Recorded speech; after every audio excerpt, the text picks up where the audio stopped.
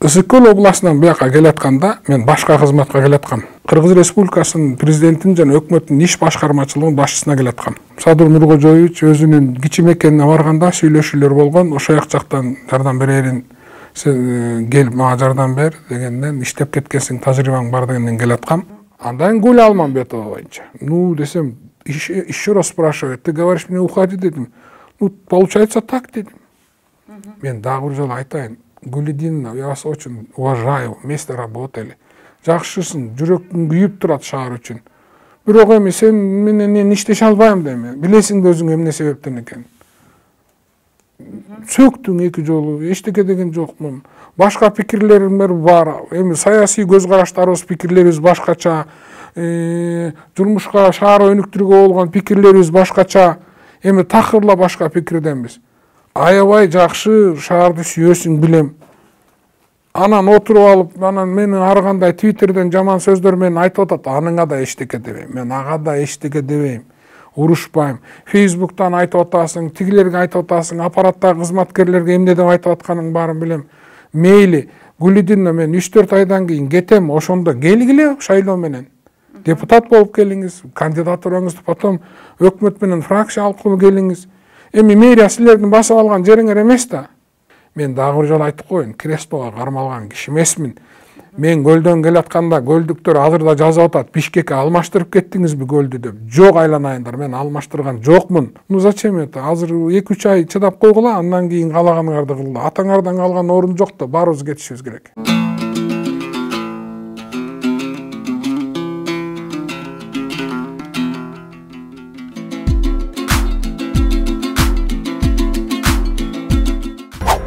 Саламатсызбы балбак мырза? Студиябызга куш келиптирсиз э, мына бүгүн өзүңүз байкагандай биздин өлкөдө э, саясий абал э, бир топ бир кичине туруксуздукту түзүп жатат мунун себебин сиз өзүңүз да жакшы билсеңиз керек. Ушул саясий абалды биз кантип бүгүн бир жөнгө сала алабыз ошол боюнча өзүңүздүн азын улак пикириңизди айтып кетсеңиз эми саламатсыздарбы? Биринчиден саясий акыбал акырындап турукташып баратат өзүңүздөр билесиздер мындай э, окуялар болгондон кийин бир топко чейин барчу. Бирок бул жолу кичине ылдамыраак болуп атат атат саясий турукташуу саясий турукташуу баардык саясий күчтөрдүн э, сүйлөшүүлөрүнөн анан э, баягы ынтымакка келүүсү канчалык тез болсо ошончолук оңой болот да. Себеби саясий ынтымакка тез келбесек эл кыйналып элдин жашоосуна таасирин берип атат. Экономикага пандемияга эң негизгиси адамдардын жашоосуна терс таасирин тийгизип атат. Ошондуктан азыр саясий акыбал турукташып баратат толук турукташа элек албетте. Себеби кээ бир нерселер э, кичине оору оор болуп атат да э, адамдар мурун көнгөн адамдардын көнүмүш иштерин таштай албай э, бир жерде мына кызматтан бошотуулар болуп атат себеби бул бир системаны өзгөрткөнгө аракет болуп атат да. Элдин мурунку көнүмүш адатты өзгөрткөнгө тиешелүү да болчу. Мисалы саясий абал экономикалык абал бир калыпта келатканда мурунку бийлик менен биз иштеп турганда деле биз мурун деле иштеп турбадыкпы анан ошону азыр баягы өзгөртүүлөр болгонуна жараша кичине туруктсуздук болду да азыр эми ал турукташат деп ойдом аз аздан барып турукташат э москва деле аз эле калбады бир күндө курулган эмес э. бишкек мэриясында деле мисалы ошол жанакы кээ бир э, бошотуулардан кийин элдер чыгып атпайбы. Ошол мына сөзүңүзгө аралжы сизди бул күнгө чейин коомчулук билгендей кайсы кызматтар каалабаңыз? Сиздин артыңыздан ар дайым бир топ коомчулук элдер колдоп сиздин жасаган жумуштарыңыздын актыгын тактыгын белгилеп келе жатышат анткени бүгүнкү коюлган көпчүлүк кадрлардын арасынан эми баардыгы эле дебейбиз. Э, бирок ошолордун ичинен сиздей болуп эч качан коррупцияга малынган эмес эч жерден эчтеке урдаган эмес бирөөнүн акысын жеген эмес деген кадрлар аз болуп жатат. Ага карабастан бүгүн э, шаардын көпчүлүгү сизди колдоп жатканына карабастан эки күндөн бери ушул мэриянын э, имаратынын айланасында дагы деле бир жагымсыз окуялар байкалып жатат ага жеке пикириңиз кандай мына азыр келатсак дагы турушат мындай мен сиз менен ачыкча элге жеткиликтүү тил менен сүйлөшөйүн деп мен сизди көп жылдан бери тааныйм сиз да билесиз экөөбүз бир убакта кесиптеш да болгонбуз ушуга чейин көптөгөн жетекчиликтин бийликтин астында иштедим мен ар убакта ошол мамлекет үчүн ошол бийликке ишенип иштейт экен. Адам үмүт кылат экен да. Үмүтсүз болбойт экен. Кемчиликтерибиз болду жакшылыктарыбыз болду бирок эч качан элдин мүлкүнө кол салган эмесмин. Бүгүн да мына чыгып атпайбы мурун соттолуптур тигинтиптир минтиптир ал саясий окуя болгон аны убакыт келгенде мен айтып берем. Ал саясий оюнчулар дагы эле азыр саясий бийликте отурушат. Ошол мени соттогон тергөөчү прокурордун баары ушул тирүү азыр. Алар да өзүнүн каталарын мойнуна алышкан өстүртөн басым болгондо бул саясий чечим болгон. Себеби мен эки миң он үчүнчү жылы шайлоого катышкам. Анан бир чоң чиновниктин бир үйүн таап алып ошондон бул иш башталган да гезитте иштеп жүргөндө.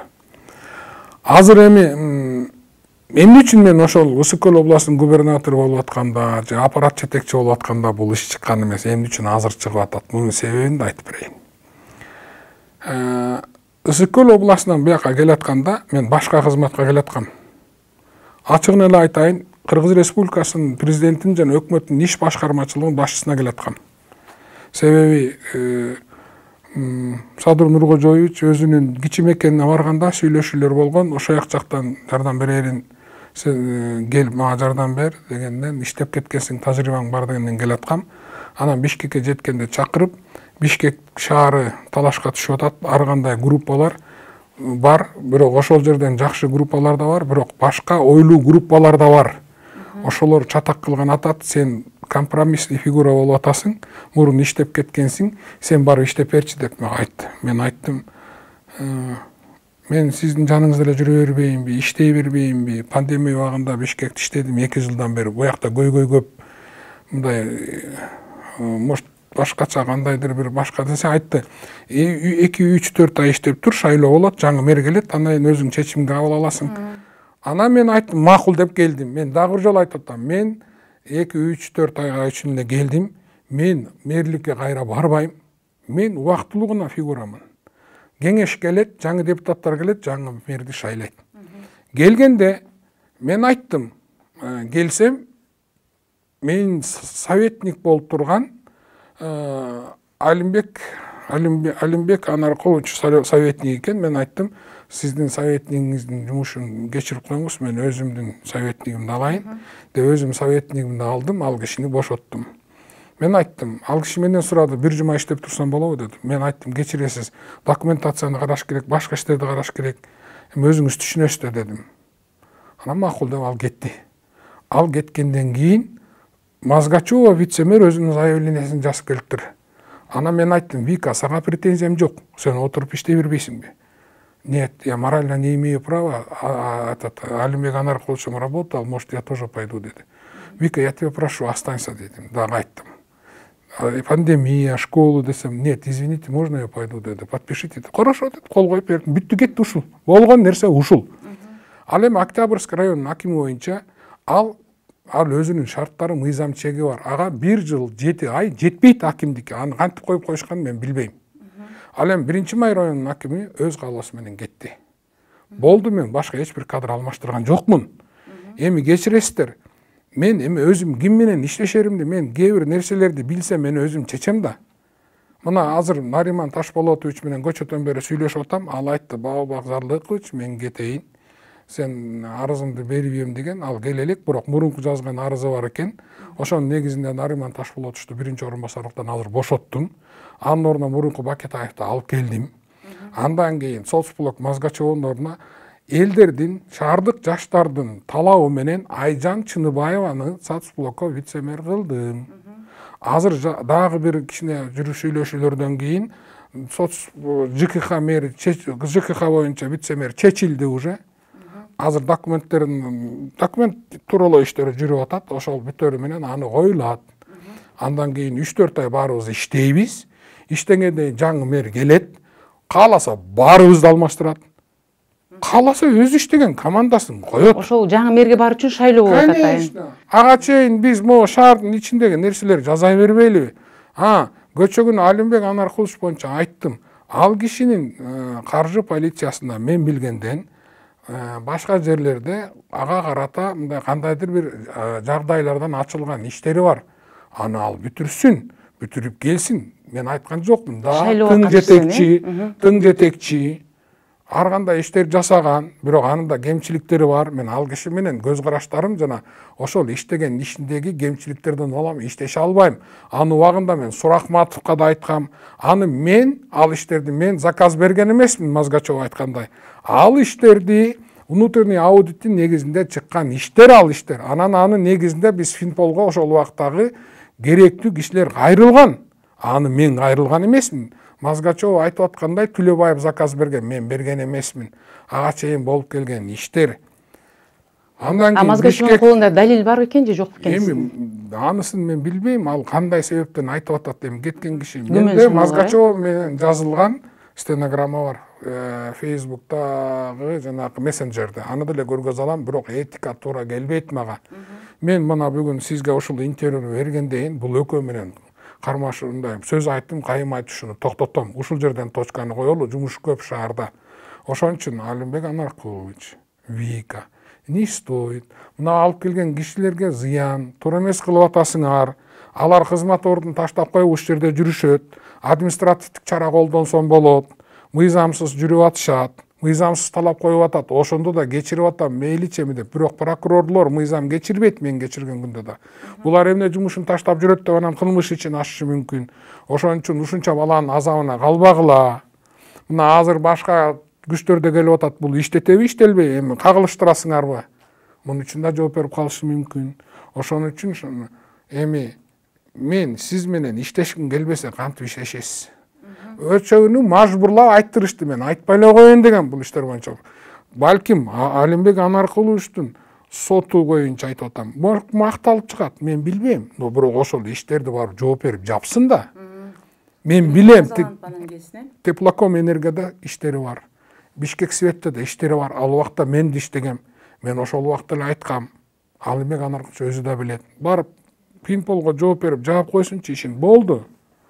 Андан гуля алмамбетова боюнча гуля алмамбетова мага кирди киргенде алимбек анаркуловичти эмне кетирдиң дейт мен айттым эми гулидина советниктин мага кереги жок дедим алимбек анаркулович деген ал кеңешчи мени ал аны мен кетирген жокмун аны сурахматов менен түлеев кетиришкен азиз эмилбекович сурахматовду вице мэр биринчи вице мэр кылып түлеев нариман ташполотовичту дайындаган анын ордуна бакетаевди дайындаган.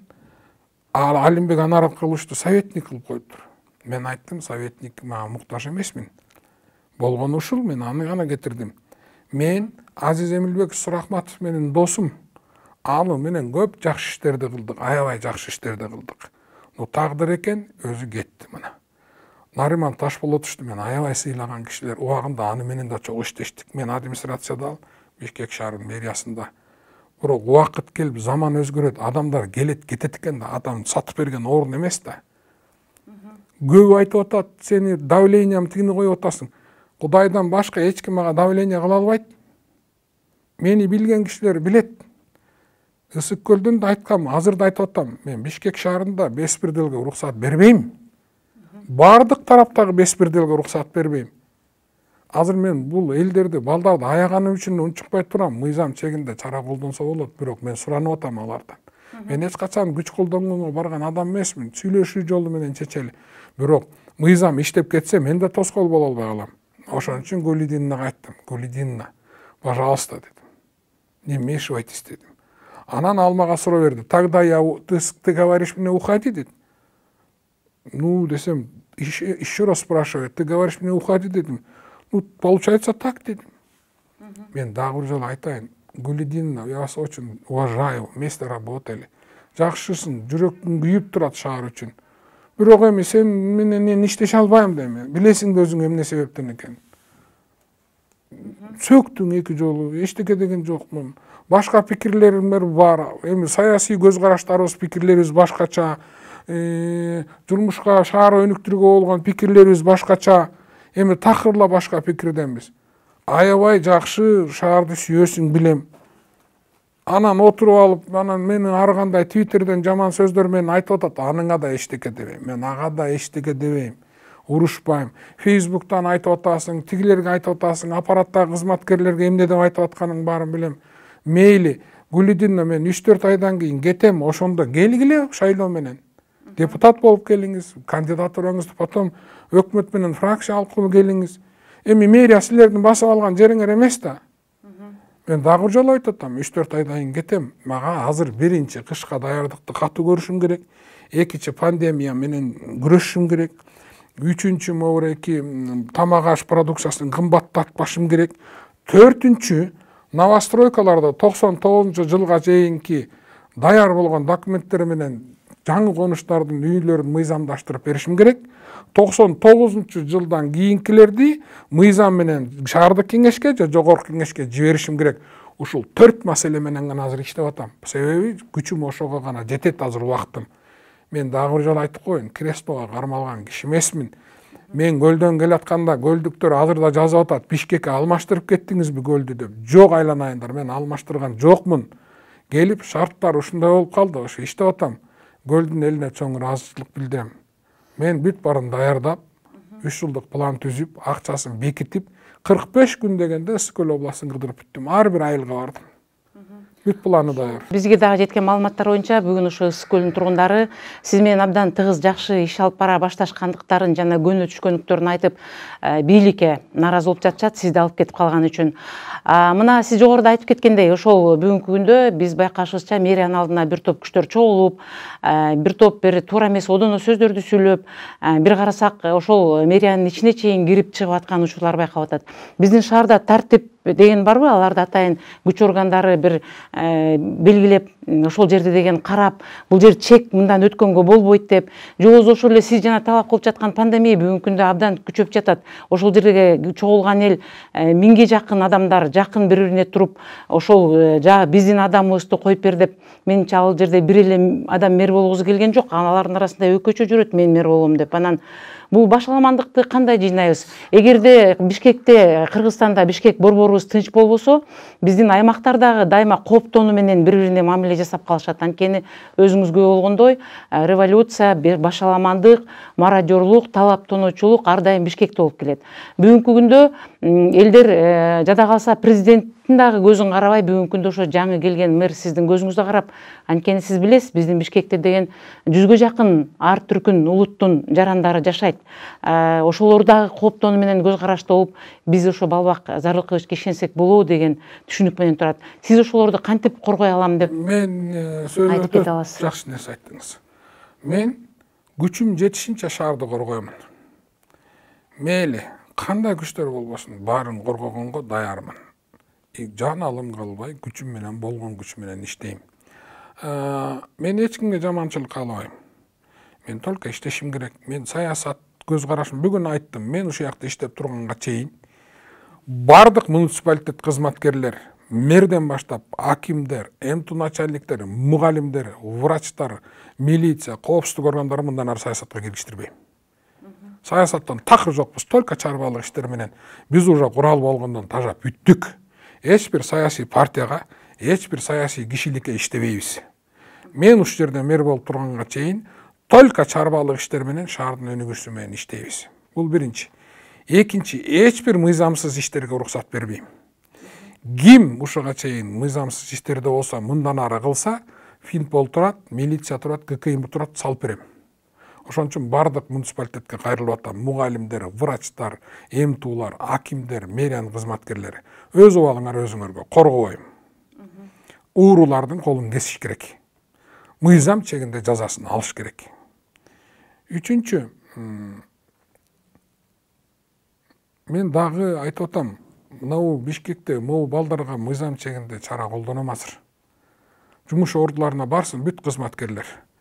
Жумуш ордуларына барып иштебесе милиция өзүнүн мыйзам чегинде колдонот мисалы ошол эле чоң казат мекенчил бир бол деги эле жана оппозицияда болуп атпайбы азыр ата мекен баардык партиянын ушул жактагы өкүлдөрү менен жолугуп сүйлөшүп атам мен жана асхат осмоновго төрөханга адил кыргызга сүйлөшүп айттым келгиле иштейли алар макул болбой койду биз иштебейбиз биз адилеттүүлүктү гана каалап атабыз деди люстрацияга барышын мэрияга мурунку иштебеген уурулар дейт.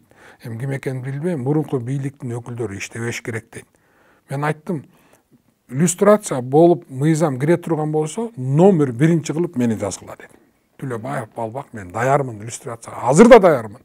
Эгер мен үчүн жалгыз иллюстрация десеңер ага да даярмын. Жок мыйзамсыз иллюстрация сиз жөн эле иллюстрация десеңиз ага да даярмын.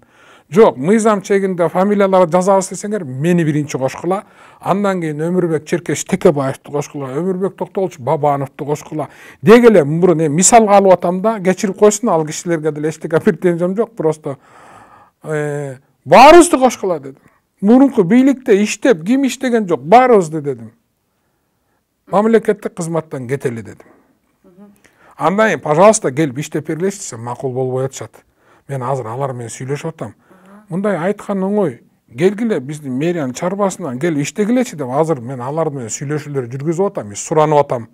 Келиңиздер кайсы чарбага баралы да иштеп ошол иш менен көргөзгүлөчү деп атам. Макул болбой атышат үчөө теңчи бирок мен макул кылганга аракет кылып атам. Айжан чыныбаеваны дагы макул кылдым мен айттым пожалуйста айжан ты же хотела ты же работала инициативно пожалуйста деп атып араң алып келдим ал айжан чыныбаева боюнча дагы бүгүн коомчулуктун пикири абдан жакшы. Ал аял киши ошол тармакты жакшы алып кетет деген ишенимин артып жатышат. Кечээ эле э, ошол эле чоң казак партиясынын негиздөөчүлөрүнүн бири э, максат мамытканов э, ошол киши айтып кетти. Мэрияны садыр нуркожоевич бизге сөз берген ошол партия силердики өзүңөр каалаган кишиңерди койгула деп айткан деп бул боюнча пикириңиз? Мен эми ал сөздү уккан жокмун. Ал экөөнүн ортосунда сүйлөшүп атканда мен да болгон эмесмин эми буяктал тияктал дегендей ал эч кимдин менчиги эмес элдин менчиги. Э, анан эми аны мен айткандайын аны эчтеке деп айта албайм. Бирок күбө болбогондон кийин айта албайм. Бирок мен ошо чоң казактын да мекенчилдин башка ким болсо болсун жаш балдарга айтып атам келгиле чогуу иштейли төрөханга да айттым. Төрэхан макул болбой атат мен деген иллюстрация деп. Адыл кыргыз деген жигит бар ага да айттым. Тиги асхат осмоновго да айттым. Келгиле иштейли десем акимдиктер сунуш кылсам да макул болбой койду вице мэр сунуш кылсам да макул болбой койду. Анан башка чарбалык иштерди азыр мен уговаривать этип атам аларды эртең буну айтып коеюн башкалар туура эмес түшүнүп албасын. Булар сатылып кетти балбакка кетти мына ый кокуй дебесин. Заранее айтып коеюн. Суранып атам болбой атышат бирок азыр барып кеңешип иштейбиз. Себеби булар көрүш керек. Жаштарга орун бошотуш керек чын эле. Алар көрүп иштеп көрүш керек. Кандай мындай патриот балдар мен билгенден үчөө тең тил билген балдар. Үчөө тең бир эки үч тил билген университеттерди бүтүргөн балдар. Анан башка баардык ушул жерден жаштарга кайрылам мен турганда мэрияда тууганчылык балбактын бөлөсү экен тайкеси экен анан агасы экен анан аялынын иниси экен деген болбойт. Баардыгыңар госкадровый служба мэриянын эмелерине барып конкурстан катышып мыйзам чегинде келгиле. Мына сөзүбүздүн аягында балбак мырза чындыгында бүгүн шаардын коопсуздугу абдан баарыбызды тынчтандырып жатат. Алардын арасында мен да бала чакам менен бармын шаарда тургандан кийин бүгүн ушул мэрия тарапка жалгыз эле сизге үмүт артып жаткан шаардын тургундарына бир эки ооз сөз менен кайрылып бул качан чечилет качан тынчыйт өзүңүзгө болгондой сыртта кылычын алып кыш келди бизге жылуулук керек бизге бир стабилдүүлүк керек тамак аш сатып жегенге бизге шаардагы транспорттор тынч жүрүш керек биз өзүбүздү ушул шаардын ичинде кыргызстандын жараны шаардын тургундары катары бейпил жашоого алып келишибиз керек. Биз күн санап саат санап күтүп атып элдин баары уже тажап кетишти. Бир ишеничтүү кайрылууңуз болсо эки ооз сөз менен айтып кетсеңиз. Айтып кетейин. Мен мына дагы айтып атам. Көлдөн чалышты ар бир райондон бишкектен чүйдөн чалышат. Байке биз келебиз азыр. Митинг кылабыз сизди колдоп азыр жакта эки үч миң киши чогулабыз деп мен айттым кереги жок пожалуйста не надо. Элдер коркуп атат шаардыктар. Анан эки эки жаат болуп кагылышып антимитинг мунун баарын көргөнбүз. Жөн эле граждандык пикириңерди фейсбуктан белгизип койгула болду келбегиле деп атам. Азыр мен эртеңден баштап могуэки дневной стационарларды кыдырам больницаларды кыдырам. Андан кийин базарларды кыдырып бааларды көзөмөлгө алам мектептерди кыдырам. Андан кийин отуруп алып жанакы э, новостройкалар боюнча иштейм себеби новостройканын проблемасын азыр чечип кетишим керек колуман келишинче жаңы жыл келатат элдер менен кеңешебиз жаңы жылды кандай өткөрөлү эл кандай десе ошондой кылабыз салют аттырабызбы аттырбайбызбы елканы эми кооздоп коелу көчөлөрдү кооздойбузбу кооздобойбузбу концерт кылабызбы кылбайбызбы баасы мынча болот бүт баарын ачык айтам. Мындан ары баардыгын ачык айтып шаардыктар менен кеңешип иш кылам ошон үчүн шаардыктарга айтарым. Коркпоңуздар баары жакшы болот мындан ары ызы чуу болбойт себеби ызы чуу кыла турган себеп жок себеп болсо анда кылса болот себеп жок болсо эмнеге кыласыңар себеп берген жокпуз да мына баардыгын ачык сүйлөшүп атабыз кеңешип атабыз ошон үчүн колуман келишинче биринчи тынчтыкты сактаганга пандемия кышка даярдыкты көрөм эгер кандайдыр бир саботаждар болсо аны коопсуздук органдары иштеп атат бүт баарын билишет ошол саботажниктерди өмүр бою кескенге даярмын. Бул ал мага гана эмес бүткүл шаарга саботаж кылышы мүмкүн. Ошондуктан ушунча миллион эл турат кудайды карагыла деп айтат элем да могу саботажниктерге реваншисттерге мен кетем эки үч айдан кийин шайлоого баргыла барып утуп келгиле кор кеңештен мэрди койгула анан шаарды өркүндөткүлө. Анан эми мен эми гапурай мен дос болгум келген адам менен заставлять этип дос боло албайсыңар да иштегим келбеген киши менен көз караштарым башка шаарды өнүктүрүү боюнча көз караштарыбыз башка болсо эми аны менен мени иштете албайсыңар да.